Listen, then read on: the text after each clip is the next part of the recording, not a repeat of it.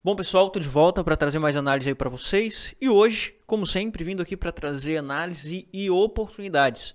Hoje, segunda-feira, a gente tem algumas oportunidades aí, principalmente em altcoin. A gente vai falar dessas altcoins que está proporcionando oportunidade nesse momento. Na minha opinião, as últimas oportunidades, faz algum tempo que falo sobre isso, sobre as últimas oportunidades, mas de fato está acontecendo as últimas oportunidades em estar tá comprando em bons preços. E a mesma oportunidade que a gente tinha semana passada, já não temos mais essa semana. E a mesma oportunidade que tínhamos no mês passado, não tínhamos na semana passada e não vamos ter mais. Então, cada dia que passa fica mais difícil, fica mais caro a gente está se posicionando nesse momento. Então vai chegar o ponto em que vamos estar procurando pontos de realização e não mais pontos de compra. Então fica atento aí para você não perder essa oportunidade, principalmente no momento atual de mercado que a gente está e com os vestígios de que o mercado está dando para a gente de possibilidade de valorização aí para o decorrer desse ano tá bom? E ó, tá chegando aqui pela primeira vez, seja bem-vindo. Eu tô aqui todos os dias, de segunda a sexta e aos sábados trazendo live aí para estar tá trazendo e passando para vocês as melhores oportunidades. Então, não tá inscrito? Se inscreve aí para que você receba todos os dias e o intuito aqui vai ser sempre te ajudar da melhor forma possível e gratuitamente para que você consiga ganhar dinheiro nesse ciclo de alta, tá bom? Então vamos lá. Primeiro eu quero estar tá passando aqui a primeira oportunidade que vejo nesse momento inclusive no gráfico semanal, que é um gráfico de médio prazo. No curto prazo e no curtíssimo prazo, a gente vai ter ruídos, e esses ruídos é aquele momento onde a gente consegue pegar alguns trades e a gente vai estar tá falando sobre isso lá na frente. Agora é para você que busca oportunidade para médio prazo, para um position trade, para um swing trade ou para acumular. E a primeira oportunidade está aqui no Ethereum, observando o gráfico semanal. Veja que no semanal o Ethereum rompeu uma resistência muito importante, onde, a partir do momento que o Ethereum chegou aqui nessa região de 2.470, ele rejeitou com uma pressão vendedora muito forte. Como que eu sei que aqui é uma pressão vendedora muito forte? Veja o que aconteceu quando ele chegou lá na semana do dia 8 de janeiro. Ele tocou lá em cima, em 2.700, porém, houve uma pressão vendedora constante e contínua para trazer o preço para baixo dessa região. Veja o que aconteceu na semana seguinte. O preço de novo tentou romper essa região, mas não conseguiu segurar acima dessa região. Então, logo depois, no fechamento, o preço fechou abaixo dessa região com uma queda muito expressiva logo em seguida, obviamente por diversos motivos, tá? E na semana passada, no fechamento da semana passada, a gente teve aqui um fechamento com uma pressão compradora constante contínua e fechando e segurando acima dessa região de 2.490. O que eu interpreto aqui com esse, com esse rompimento semanal? Que na semana passada tivemos pressão compradora suficiente para segurar o preço acima dessa, dessa região e suprir, tirar toda a oferta do mercado que tinha nesse ponto. Então, essa região que era uma região de resistência passa a ser uma região de suporte com uma pressão vendedora nesse momento menor que nas semanas passadas e só vamos ter uma pressão vendedora forte aqui se tivermos um evento atípico, como por exemplo o Bitcoin caindo 10% ali na semana, ou se sair alguma notícia de altíssima relevância para médio prazo. Se isso acontecer, de fato, a gente vai ter uma pressão vendedora porque vai entrar pânico no mercado. Mas se o mercado continuar com os mesmos critérios que a gente tem atualmente, na minha opinião, essa região de 2.400 vai ser uma região de suporte no semanal. Por que eu estou frisando no semanal? Porque nada impede de no gráfico diário ele dar uma agulhada lá embaixo e depois voltar. Isso no diário. Mas no fechamento ele volta para cima dessa região e fecha aqui em cima. Fechando aqui em cima, na semana seguinte a possibilidade continua de valorização e o alvo para essa valorização está aqui em cima na próxima resistência em 3.500. Então fique atento aí, principalmente para você que busca um position trade, para você que quer entrar em um position trade, estruturar um position trade, essa é a última oportunidade. Por quê? A partir do momento que no semanal o preço começar a subir e chegar aqui nessa região de 2.700, 2.690, por exemplo, já não compensa mais. Não compensa mais montar posição para holding, mesmo que seja um bom ativo, porque o seu risco, seu risco retorno já não compensa mais, e não compensa para um position trade. Olha o tamanho do seu stop. O seu stop tem que estar abaixo dessa região de suporte. Então você vai ter um stop de 10%, 15%, 12%. já não está mais viável estar tá entrando em position trade. Aqui já morreu, você já perdeu o bonde. Assim como perdemos o bonde em Ronin, assim como perdemos o bonde em algumas outras altcoins que passou muito. E se você está buscando, obviamente não é uma recomendação de investimento, mas se você está buscando um trade no Ethereum, observe o Ethereum aqui no semanal para um position trade. Agora, quando a gente vai observar curtíssimo prazo e ruído, veja aqui, nesse momento, assim como eu falei lá atrás, existe sim a possibilidade de uma agulhada mais embaixo aqui com ruído de curtíssimo prazo. Quais que são esses ruídos, Luiz? Vamos lá. A gente tem aqui, por exemplo, a possibilidade de amanhã, tá? A gente ter o CPI sendo divulgado com os dados de inflação acima do esperado. Se isso acontecer, obviamente a gente vai ter ruído de curto prazo. Só que ruído de curto prazo, tá? Então a gente pode ver aquela agulhada lá embaixo e depois voltar. Então, onde que vai estar tá essa oportunidade depois do ruído? Quando ele voltar e segurar acima, porque mesmo com esse ruído, o preço ou a pressão compradora foi forte o suficiente para suprir todas essas vendas e segurar acima daquele nível de resistência. Então, isso é importante a ser observado, tá? Então, no curtíssimo prazo a gente pode ter ruído e cu cuidado aí nesse momento com trades no curtíssimo prazo. Espera passar essa notícia, principalmente a notícia de amanhã, que é uma notícia que pode trazer volatilidade no curtíssimo prazo, mas no semanal como viés de confirmação, se no semanal ele fechar acima dessa região e aqui entre 2.490, 2.500, está em um ótimo ponto e continua em um ótimo ponto para estar tá fazendo ali um position trade. Eu já estou posicionado, já estou pegando um lucro, já mostrei para vocês aqui no canal, já mostrei lá no grupo do Telegram. Aliás,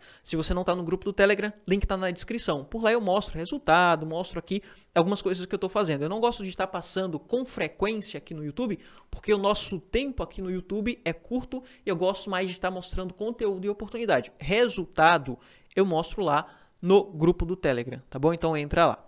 E voltando aqui para ruído de curto prazo, o que a gente precisa observar também é o Bitcoin. A gente pode ter sim ruído de curto prazo aqui no Bitcoin por impacto lá de mercado tradicional, por esse motivo que a gente observa de perto o mercado tradicional. E a gente vai observar aqui nesse momento gráfico pequeno. Por quê? No gráfico pequeno, uma hora, quatro horas, a gente vai ter noção desses ruídos. Como, por exemplo, estou aqui no gráfico de uma hora. No gráfico de uma hora, o que está acontecendo? O que está formando aqui no Bitcoin? No gráfico de uma hora, está sendo formado aqui no Bitcoin um canal ascendente, onde geralmente, geralmente, rompe para baixo. Não é sempre. Geralmente rompe para baixo, mas ele pode romper para cima também, com uma pressão compradora muito forte. Lá na frente a gente fala sobre isso. E veja que nesse momento a gente pode ter uma onda de impulso aqui até 49, 50 mil, onde vai ser a próxima região de resistência, tá? Mas nada impede de um rompimento aqui com o preço caindo para 47. Então, no rompimento, se houver um rompimento no curtíssimo prazo aqui, a gente vai observar, porque se romper, a possibilidade de cair até 47,200, com isso, queda lá para Ethereum. Chegou aqui em uma região de suporte, segurou, lateralizou, formou um padrão de reversão, começou a subir. Impulso, olha o volume, como que está o volume? Ascendente? Beleza, está entrando pressão compradora. Então, a partir desse momento altcoins começam a subir também. Para observar altcoins nesse momento, o que a gente precisa observar também é a dominância. E eu estou fazendo uma observação bem importante aqui na dominância, porque a dominância no semanal chegou em uma região que não conseguiu romper em momentos passados. E se não conseguir romper atualmente, nessa semana, podemos ver a dominância corrigindo, assim como aconteceu aqui nessa semana, e assim como aconteceu aqui nessa semana. Se isso acontecer, atenção para as altcoins e para o Ethereum principalmente.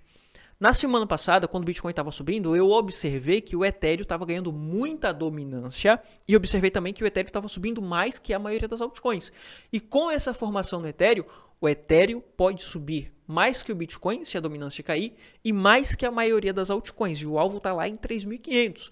Então, nesse momento, a oportunidade em altcoin, principalmente para trade, principalmente para surfar aí no médio prazo, pode estar no Ethereum, tá bom? Então a gente vai fazer essa observação aqui na dominância também, tá bom? Vindo aqui para mercado tradicional, o que pode trazer ruído também é o dólar. Veja que o dólar está subindo há algumas semanas consecutivas. O dólar chegou em uma região de resistência. Se romper essa região de resistência, a gente vai ter mais valorização para dólar. E se tivermos mais valorização para dólar, a gente vai ter ruído de curto prazo aqui também no Bitcoin e no Ethereum. Por esse motivo que a gente vai fazer essa observação no Bitcoin, a gente vai fazer essa observação no Ethereum e a oportunidade para quem não entendeu a análise até o presente momento. A oportunidade vai estar na confirmação semanal para levar para hold, segurando acima dessa região, porque no curto prazo ele vai ficar rompendo e voltando, rompendo e voltando, mas se no semanal ele fechou acima dessa região de resistência, então ele confirma que existe uma pressão compradora aqui. E é uma região de suporte, então a gente compra. No semanal ele já está confirmando para mim nessa semana, tá? Mas para um viés de confirmação no semanal, para um viés de confirmação mais forte para quem ainda está cauteloso, espero o fechamento dessa semana. Mas para mim, que estou montando posição, acredito no ativo, para mim já está com mais do que confirmado. Eu acredito que vai ter esse ruído de curto prazo, mas acredito também que o preço vai conseguir segurar acima dessa região. Então eu já aporto, eu que não tenho nada, tá? Eu não posso te passar uma recomendação de investimento, mas se eu não tivesse nada de Ethereum, estaria acumulando nessa região ou estaria pegando uma posição nessa região. Lembrando que eu já estou comprado e eu também já tenho position trade nessas regiões, tá? Só estou passando aqui para você para caráter de estudo e não como recomendação de investimento e mostrando os principais pontos para quem ficou de fora. E esse é o melhor ponto para quem ficou de fora, tá? Próxima altcoin que pode estar proporcionando oportunidade aqui é a altcoin DOT. O DOT está rompendo ou já rompeu lá alguns dias atrás essa essa linha de tendência de baixa fez uma estrutura de alta, voltou para fazer um pullback nesse topinho aqui e está segurando nessa região no gráfico diário. O DOT pode acontecer ou pode formar a mesma característica que formou em alguns meses atrás, onde muitas altcoins subiu, deixou FTM, DOT, VET, algumas altcoins para trás, e essas altcoins que ficou para trás, como o DOT, começou a subir muito forte depois que essas altcoins que tinham subido parou. Então, nesse momento, por exemplo, o Ethereum pode começar a subir, deixa a DOT para trás, deixa a VET, deixa a FTM para trás. E quando o Ethereum parar de subir, o DOT pode começar a subir. Isso acontece de forma mágica, Luiz? É uma mágica que acontece, que faz uma altcoin subir, a outra ficar para trás e depois começa a subir? Não, não é mágica. Tem uma lógica simples por trás. Qual é a lógica? Dinheiro foi migrado de Bitcoin por realização em 50 mil, por exemplo, para o Ethereum. O Ethereum começou a subir, chegou em uma região de resistência 3.500. Você que estava comprando desde 1.700, 1.600, mil dólares por unidade, você vai estar tá fazendo um lucro exponencial. E você que está fazendo lucro exponencial vai realizar um pouco e quer, tá, e quer continuar exposto no mercado cripto. Então o que, que você faz? Você compra as altcoins que ficou para trás. Então automaticamente as altcoins que ficou para trás começam a ganhar muito capital e com isso começa a subir. Mesmo ficando para trás, depois começa a subir, tá bom? Então, há um motivo lógico e simples por trás. E uma dessas altcoins que ficou para trás, que pode começar a subir em breve, quando o dinheiro começa a ser cascateado, é o SDAO. Muita atenção aí pro SDAO. Faz alguns dias, algumas semanas que estou falando do SDAO, porque o SDAO está segurando aqui nessa região, está segurando e confirmando essa cunha. E quando ele romper essa cunha, na minha opinião, vai entrar uma pressão compradora constante e contínua, trazendo o preço aqui para cima para 68. Então, para você que quer ter, não é para você que não quer ter. Para você que não quer ter, você vai olhar para quê? Vai olhar para Ethereum, vai olhar para DOT, vai olhar para as outras altcoins. Mas para você que quer ter SDAO, talvez esteja um ponto interessante aí, tá bom? Então fica atento aí para o SDAO que pode estar te dando oportunidade para você que quer ter esse ativo em carteira. E tem um detalhe muito importante que eu preciso passar para você antes de finalizar esse vídeo, tá? A BlackRock está tirando muita oferta do mercado. Essa é uma informação muito importante a ser observada porque a BlackRock atualmente, em questão de algumas semanas, está com 82 mil bitcoins em carteira. Em alguns meses, a BlackRock vai ser a maior baleia de Bitcoin do mercado. E para isso, eles vão tirar muita oferta do mercado. A oferta que está sendo colocada no mercado está vindo de sardinhas, está vindo de Grayscale, através de OTC ou independente de onde está vindo, através da Grayscale, mas está vindo de Grayscale. E a oferta colocada no mercado pela Grayscale está diminuindo dia após dia.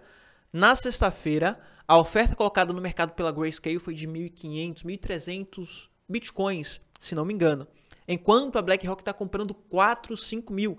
Está tirando muita oferta do mercado da BlackRock. Não só a BlackRock, tem a Fidelity, tem a Arkinvest, tem outros fundos de investimento tirando oferta do mercado.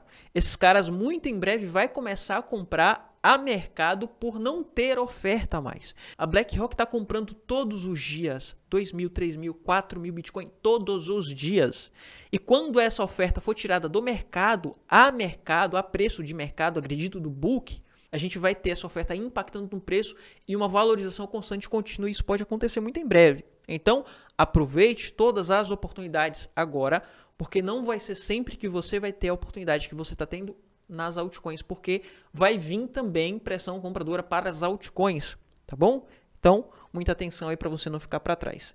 Enfim, esse foi o vídeo, esse foi o alerta, um alerta muito importante para você que tá com, ainda está com medo, para você que ainda não está exposto ou que está exposto ali com uma parte bem pequena, 10, 20, 30%, tem muito capital para estar tá comprando e está com medo de estar tá comprando agora. Muita atenção, porque você pode estar tá ficando para trás aí, tá bom? Era isso, vou ficando por aqui, te vejo no próximo vídeo. Foi.